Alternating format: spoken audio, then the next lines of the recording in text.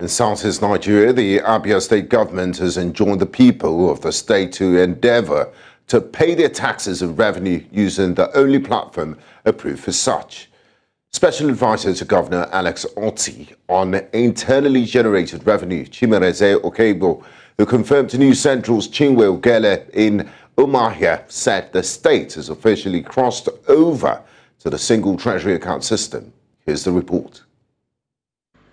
After three months of creating and designing a functional system accessible to all, Abia State government says it has formally launched the single treasury account to help block all leakages of government's revenue. The system, which officially began on the 1st of September 2023, is aimed at harmonizing its accounts and revenue collections. According to the special advisor to the governor on internally generated revenue, Mr. Chimereze Okibu, everything has been put in place to make the system work better. The finances are scarce now and a lot of things to be done. Uh, when the governor came into uh, came into power, uh, we noticed a lot of uh, lapses, a lot of uh, leakages in the system, and a lot of things to be also done in the state. So he decided to go the route and become intentional about making sure that uh, we synchronize all the state's income, revenue, receipts into one central funnel so that we can have money to do what we need to do for the state. He also expects that all eligible taxpayer will comply with the new system to make revenue collection and payment stress-free. This is like that somebody will die, somebody must also pay tax. So encouraging that to support the government because the intention is for good. Um, we need to get money so we can pay more salary, we can do a lot of things, hire people and also do a lot of things in the state. So encouraging, the mandates are being shared. Um, um, it's we're also giving people assessments so they can do what they need to do. So we believe in the coming days we will comply, so we'll be able to get more to do more.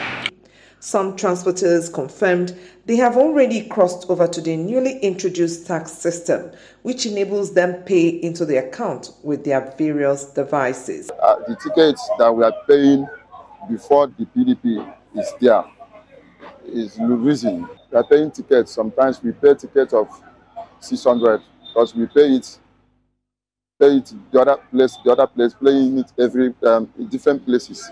600 every day. Uh, every day sometimes 500 sometimes 600 but now we are paying we are paying 300 naira for daily. And you can pay that 300 naira to go everywhere you like. Even though i don't have work in government but the things i'm seeing the way things are moving since you get there mommy things are more better for Abia State now than before. With this, the government will not only be blocking leakages, but also identifying and tracing the sources of every kobo that accrues to the state. Chinwe Ugile reporting for News Central. Nigeria's Inspector General of Police and the Lagos State Governor have been urged to wade into an alleged defamation of character by vested interests in Lagos State. This comes amidst allegations of threat to life and intimidation against a real estate mogul in the state, speaking on the development, legal practitioner Yakubu Eleto challenged a body tagged Lawyers Reform Group to substantiate and provide the public with concrete evidence supporting the allegations about those allegedly buried, including proof of their identities and the locations where they were purportedly exhumed.